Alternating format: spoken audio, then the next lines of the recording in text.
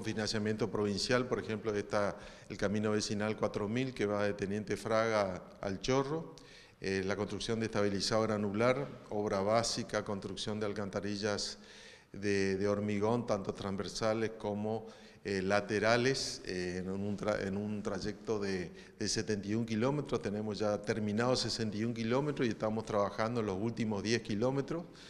Es una obra importantísima con financiamiento provincial. Después también estamos ejecutando la ruta provincial 32, también una obra de estabilizador anular de 65 kilómetros que va desde la localidad de Las Lomitas hasta la localidad de Fortín Soledad.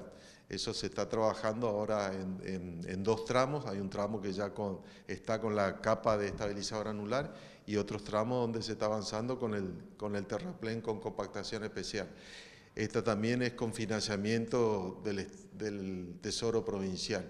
Y otras que estamos ejecutando por convenio con, con, Nación, con la Dirección Nacional de Vialidad, son la pavimentación de la ruta provincial número 6, en una extensión de casi 30 kilómetros que va desde Riacho GG hasta Tres Lagunas, eh, la pavimentación de la ruta... ¿En qué etapa está esta?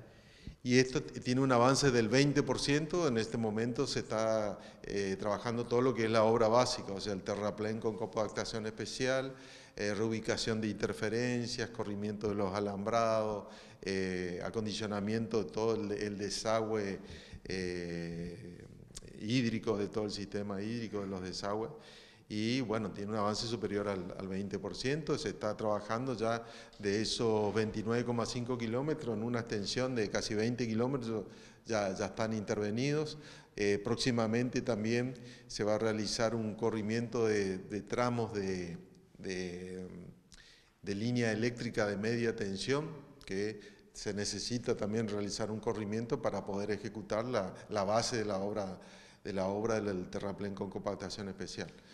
Un poquito más al, norte eh, tenemos desde la ruta eh, provincial 2 en la colonia La Primavera hasta la localidad de Siete Palmas, la ejecución ya del terraplén con compactación especial también de la ruta provincial número 8, una extensión de 8,5 kilómetros que van a estar pavimentados y van a permitir acceder a la localidad de Siete Palmas eh, con pavimento.